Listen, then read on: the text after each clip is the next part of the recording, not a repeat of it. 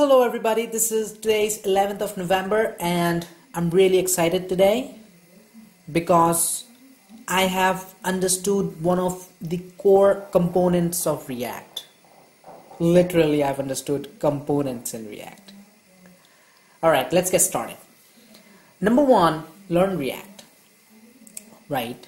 So I've learned about, I've learned more about JSX, JavaScript, XML, and I learned about what is component in React. Now that is that is the part which you know which makes me so excited because because I've really known like what is component. I was you know I was thinking like it's it's it's just a term given to something and you just call it right but actually now I know like how to imagine whenever someone say components in React so components are nothing but they're like JavaScript functions.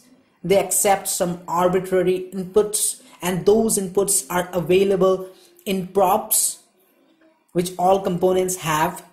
And and the component and the component does some manipulation on data or or it doesn't that depends. And it returns react elements describing what should appear on the screen. So basically components are JavaScript functions. They accept inputs and they return React elements. That's it. So that's that's what I learned that what is component in React and basically more about functional component just because they are like functions and all they do is return a React element. I also learned about props. Props are nothing but they are arguments passed to component right? So whatever argument i will pass to component it will be available in props. So it's like an object and it will be available there in props object.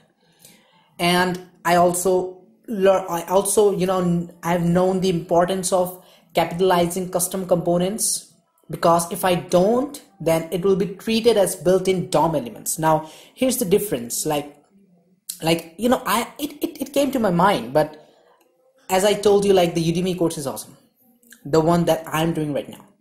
So what? So what the thing is like when we declare something like var component equals to an h1 tag hello world h1 tag close right and if i don't capitalize component then react will treat it as a DOM element like already existing DOM elements like div, h1 or or a tag and all that that already exists. So it will be treated like that. But if I capitalize it, then it will know that it's a custom element or or a custom component which is made by me and which is not a DOM element. So that's that's the basic difference of that's the basic importance of capitalizing custom components. And i learned how to pass arguments to components using props. And i also learned how to style elements in react.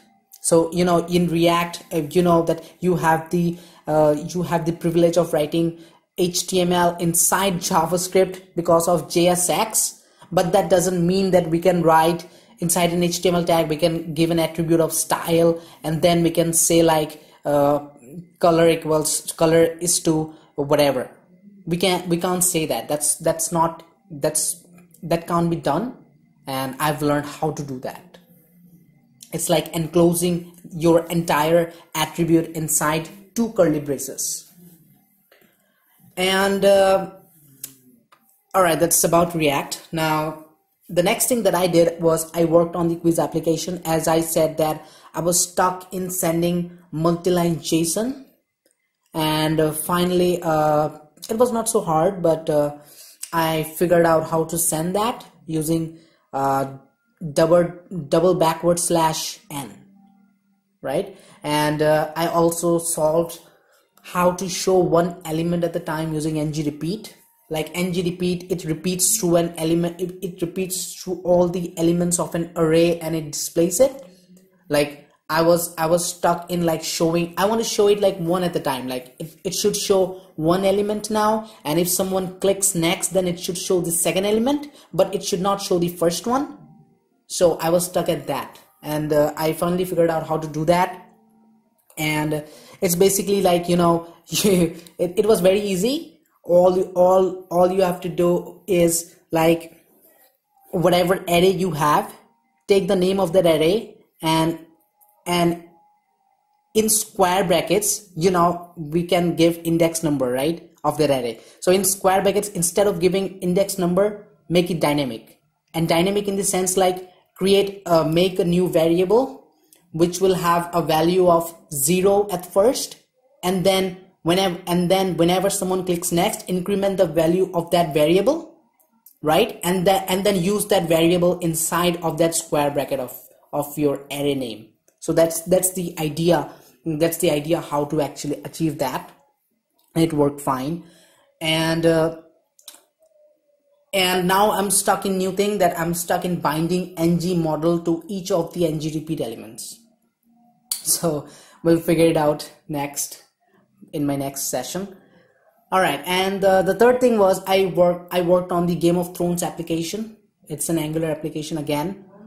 Uh, and i added pagina- pagination to the houses and characters table. You know the houses table it was it was really very much long lengthy and characters table was oh my god it was it had like uh, i think it had like one 1000 uh, one 1200 something characters. So you can imagine like 1200 uh, lists are being shown in a table and how how messy it would be right? So i added pagination to it and then uh, obviously i style it to make it more user friendly and uh, i style the page a bit as well.